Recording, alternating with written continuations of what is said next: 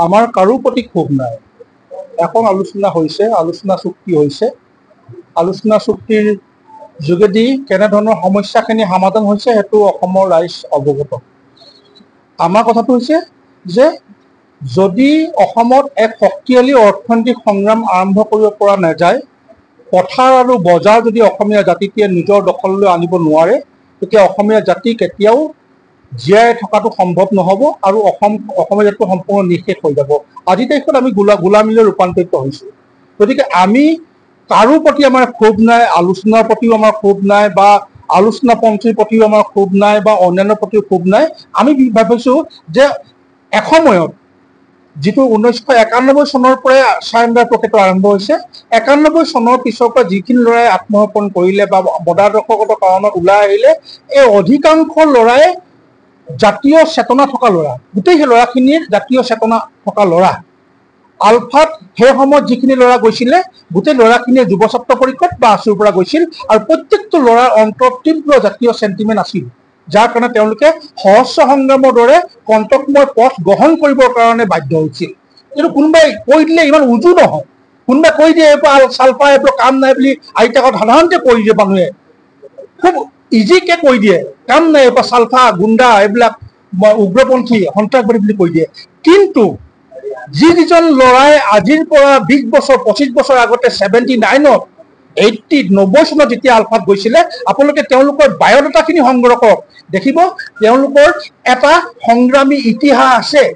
এই কণ্টকময় পৰি পৰিৱেশত দহ বছৰ সংগ্ৰাম কৰোঁতে ইমান ইজি নহয়।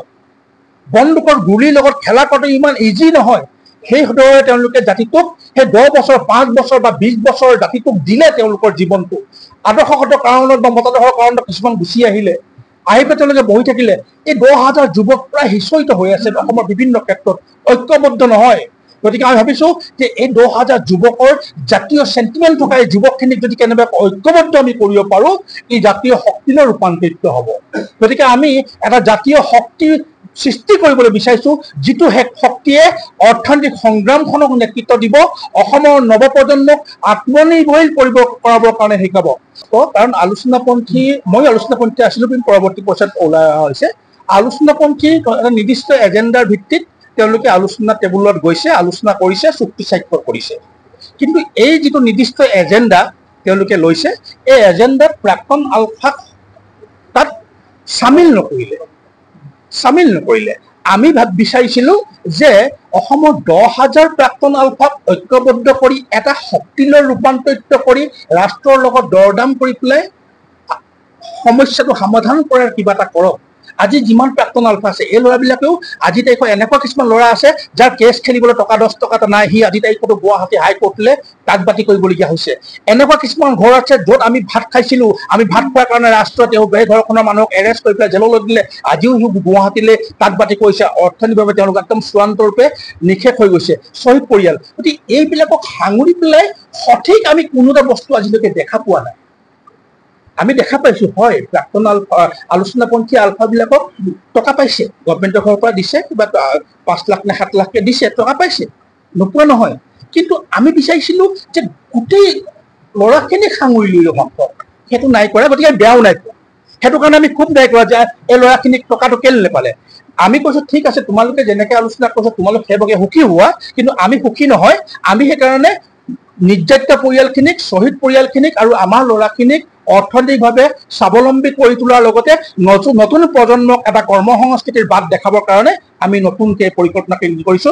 ইয়াত কাৰো প্ৰতি ক্ষোভ নাই কাৰো প্ৰতি বিৰোধ ভাৱ নাই আৰু কাৰোক চেলেঞ্জ কৰি পেলাই আমি আগবাঢ়ি যোৱাৰ মানসিকতা আমাৰ নাই। যিবিলাক চৰ চাপৰি অঞ্চল পৰি আছে ৰাজ চৰকাৰী মাটি সেইবিলাক আমি চৰকাৰৰ ওচৰত আমি আবেদন কৰিছো। মাটিবিলাক আমি এলত আমাক কৰাবৰ কাৰণে আমি খেতি বাতি কৰিবৰ কাৰণে। ইতিমধ্যে মাজুলীত আমি সোতৰশ বিঘা মাটি পাইছো। তাত আমি সৰিয়হ খেতি কৰাৰ প্লেনিং কৰিছো। এইবাৰ আমি এটা সৰিয়হ খেতি কৰিম। যেতিয়া খেতি কৰিম আপোনালোকক সেইদিনাখন জনাম। আপোনালোকে যাব নিজে চাব আমাৰ ল'ৰাই কেনেকে খেতি কৰিছে। আৰু সেই সৰিয়হ আমি তাতেই ইণ্ডাষ্ট্ৰিটো বহাই পেলাই মিঠাতেল উৎপাদন তাতেই কৰিম। আৰু এই বছৰ আমাৰ প্ৰাক্তন আলফাৰ অধিকাংশ ঘৰত আমি আজিয়ে ঘোষণা কৰিছো। আমাৰ প্ৰাক্তন আলফাই উৎপাদন কৰা মিঠাতেল আমাৰ দহ হাজাৰ পৰিয়াল আছে দহ হাজাৰ পৰিয়াল নহলেও অন্তত তিনি হাজাৰ পৰিয়ালে আমাৰ উৎপাদন কৰা মিঠাতেল খাব। সেইটো ঠিক। আমি ইতিমধ্যে দৰঙত আমাক এহেজাৰ বিঘা মাটি আমাক উপায়ুক্ত মহোদয়ে দিছে। তাতো আমি খেতিৰ পৰিকল্পনা কৰিছো। ধুবুৰীত চাৰিশ বিঘা মাটি আমাক এলট কৰিছে। তাতো আমি পৰিকল্পনা কৰিছো। এইদৰে জলাশয় হওক চৰকাৰী মাটি হওক য'ত যেনেকৈ আছে আমি ল'ৰাবিলাকক কৈছো ক'ত ক'ত আছে ছাৰ্ভে কৰা সেইবিলাক আমি সংগঠনৰ ল'ৰাবিলাকে চৰকাৰৰ পৰা এলট লৈ তাত আমি খেতি কৰিম। আমি উৎপাদন আমাৰ খেতিত উৎপন্ন হোৱা ৰ মেটেৰিয়েলছৰ ওপৰত ভিত্তি কৰি আমি ইণ্ডাষ্ট্ৰি বনাম যেনেকৈ আমি নলবাৰীত মাকৈ খেতিৰ কাৰণে পৰিকল্পনা কৰিছো। মাকৈ খেতি হোৱাৰ পিছত সেই মাকৈৰ ওপৰত ভিত্তি কৰি পেলাই আমি দানাৰ ফেক্টৰী তাত বনোৱাৰ পৰিকল্পনা কৰিছো যেনেকৈ মাছৰ দানা আৰু অন্যান্য মুৰ্গীৰ দানা এইবিলাক অত্যন্ত আজি তাৰিখত ডিমাণ্ড আছে কিন্তু অসমত ইয়াৰ কোনো উৎপাদন প্ৰক্ৰিয়া নাই। উৎপাদন আজি তাৰিখত ভাল নাই। চৰকাৰে ছিক্সটি পাৰ্চেণ্ট ছাবচিডি দিয়ে আজি তাৰিখত ফিড মিলৰ কাৰণে। কিন্তু আমাৰ কোনেও আগ্ৰহী নহয়। কি কাৰণে নহয়? ৰ মেটেৰিয়েলছ নাই। আমি মিল বহাব পাৰোঁ কিন্তু আমি ৰ মেটেৰিয়েলছ ক'ৰ পৰা কিনিম? বেলেগ পৰা কিনিব লাগিব। বেলেগ পৰা কিনিলে দামত কিনিব লাগিব। দামত কিনিলে আমি মাৰ্কেট দখল কৰিব নোৱাৰো। সেইকাৰণে আমাৰ ল'ৰাই নলবাৰীত খেতি কৰিব তাৰ উৎপাদিত কেঁচা সামগ্ৰীৰ ওপৰত ভিত্তি কৰি ফিড মিল বনাম।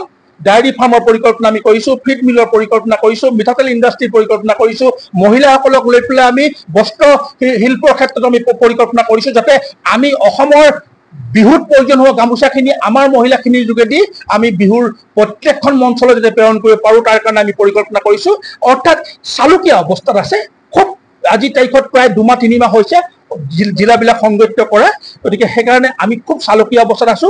এবছৰ বা ডেৰ বছৰৰ ভিতৰত আমি এই গোটেই পৰিকল্পনাবিলাকক এটা সঠিক ৰূপ দিম আৰু যাৰ যোগেদি নতুন প্ৰজন্মই এটা নতুন দিশ দেখা পাব। আৰু আমি ইয়াৰ যোগেদি আমাৰ পিঠিত লাগি থকা এই চালফা শব্দটোক আমি আঁতৰাব বিচাৰিছো। কোনো চালফা নাই ইয়াত। চালফাটো চৰকাৰে বা মিডিয়াই সৃষ্টি কৰিছে। চালফা নহয়। হয় তেওঁলোকে নোৱাৰাৰ কাৰণে আত্মসমৰ্পণ কৰিছে। কিন্তু তেওঁলোক একোজন একোজন এসময়ত জাতীয় সৈনিকে আছিলে। গতিকে তাৰ পাঁচ এশজনৰ ভিতৰত ফাইভ পাৰ্চেণ্ট ল'ৰাৰ ভুলৰ কাৰণে কিছুমানে এসময় সেই সময়ত যি ধৰণৰ উদ্ভণ্ডালি কৰিলে আলফাক আশ্ৰয় দিয়াৰ নামত আলফাৰ চাৰেণ্ডাৰ কৰি পেলাই সেই ঘৰবিলাকত অত্যাচাৰ কৰা মৰা সতীৰ্থ হত্যাত লিপ্ত হোৱা গুণ্ডামি কৰা চিণ্ডিকেট কৰা টুল গেট লগোৱা ইত্যাদি কামত ফাইভ পাৰ্চেণ্ট আলফা প্ৰাক্তন আলফা জড়িত হ'ল। আৰু সেই ফাইভ পাৰ্চেণ্ট ল'ৰাৰ কাৰণে দহ হাজাৰ বাৰ হাজাৰ যুৱক ইয়াত তেওঁলোক বদনামৰ ভাগি হ'ল। গতিকে আমি ফাইভ পাৰ্চেণ্টটোক আঁতৰাই বাকী ল'ৰাখিনিক সংগঠিত কৰি আমাৰ পিঠিত লাগি থকা সেই চালফা বোলা যিটো আতংক এটা পৰিৱেশ বা এটা শব্দ সেইটোক নাইকিয়া কৰি আমি যে এইখিনি আদৰ্শৱান যুৱক আছিলে এইখিনি ল'ৰাই যে জাতিটোক সুৰক্ষিত কৰিবৰ কাৰণে আগবাঢ়িছিলে সেইটোক আমি প্ৰমাণ কৰিবৰ কাৰণে বিচাৰিছো। সেয়াই আমাৰ উদ্দেশ্য। যিকোনো খবৰৰ বাবে যোগাযোগ কৰক আমাৰ এই নম্বৰত। Seven zero' double nine zero' one seven double three zero' আৰু seven zero' double nine zero' one seven double one zero'